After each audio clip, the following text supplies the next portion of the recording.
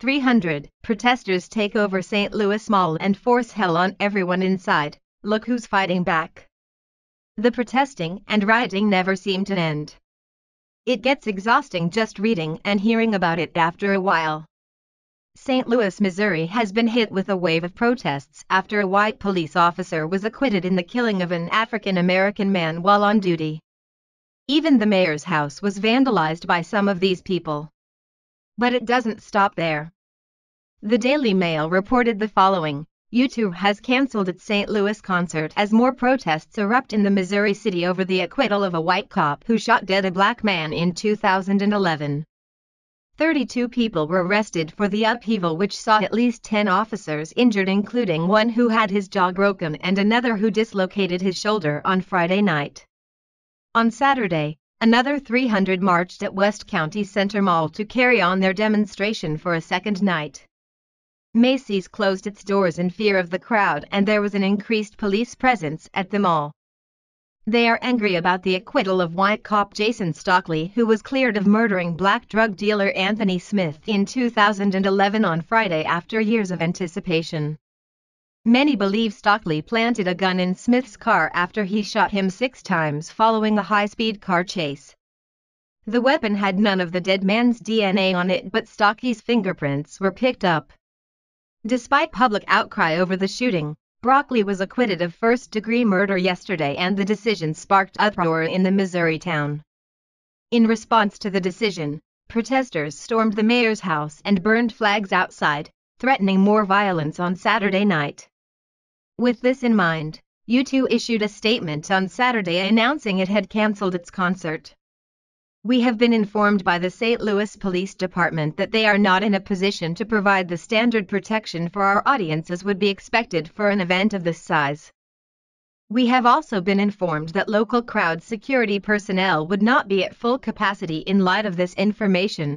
We cannot in good conscience risk our fans' safety by proceeding with tonight's concert. As much as we regret having to cancel, we feel it is the only acceptable course of action in the current environment, the band said in a statement. Look at some of the pictures from the protest. Here are the pictures of the victim and the police officer involved in the shooting that started this mayhem. Updates were given to those concertgoers who had already purchased tickets. Ticket holders will be able to claim a refund online or at their place of purchase, they added. With more protests feared to take place on Saturday night, an angry crowd formed at West County Mall to march. They were non-violent and marched through the mall chanting various slogans. Friday night's protests were decidedly more threatening. Police found guns at some of the protest sites and were forced to put out dumpster fires in other areas. In a late-night message, Mayor Lyda Krewson, who was forced to flee her home as protesters descended on it, joined St. Louis Police Chief Sam Dotson to deliver a message to the city's residents. Our officers have been very tolerant and have used great restraint. However, this evening we've had some incidents. The Daily Mail also noted the response to the actual case by public officials. On Friday night, protesters used milk to take the pepper spray out of their eyes. The head of the NAACP St. Louis asked President Donald Trump and the Justice Department to immediately review Stockley's acquittal. St. Louis Public Radio reports that in a letter sent Friday, St. Louis NAACP President Adolphus Pruitt said the Justice Department needed to give immediate attention to the case to get to the truth of what happened and to ensure that justice has been served. Pruitt said the community has lost faith in local authorities to fairly handle such cases. He cited the remarks from Albert Watkins, the attorney for Smith's fiancée, Watkins said ruling was appallingly contrary to evidence in the case. Watkins said the family disagrees with the judge's ruling that the state didn't meet its burden of proof for a finding that the officer was guilty of murder. Watkins and Smith's fiancée, Christina Wilson, on Thursday appealed for calm and nonviolent protest no matter what verdict was issued. Wells Fargo Advisors, brokerage, and investment firm Stifel and Nestle Purina Pet Care all sent thousands of employees home Friday after the acquittal.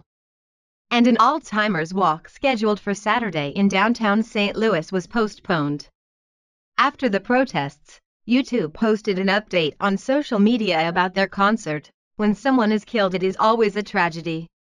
Sometimes it happens and there is nothing you can do about it. But demonizing police officers is not the correct response to outrage. Police officers are asked to uphold and protect the rule of law and that is exactly what they do. Instead of people assaulting them, protesting, and rioting, what they should be doing is thanking these officers for protecting the very people who scream and yell at them while simultaneously calling them names. Sure, there are bad police officers out there, just like there are all types of bad people everywhere. They should be held accountable and called out.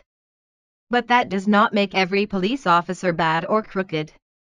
People need to stop looking at this issue in such a black and white way. Officers are tasked with making life and death decisions at a moment's notice and nobody knows what that is like until they are in that situation. And until they have to make that type of decision they have no room to judge.